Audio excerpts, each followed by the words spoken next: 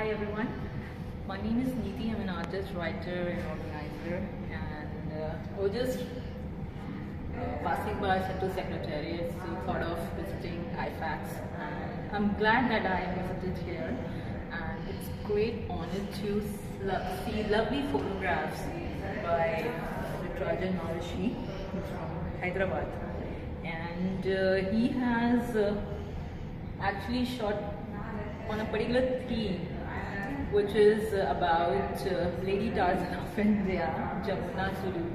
And I really love the way the photographs are shot and the theme and the way they have presented here. I wish all the best to uh, the filmmaker, photographer, as well as the people behind this beautiful concept to save the environment and protect trees.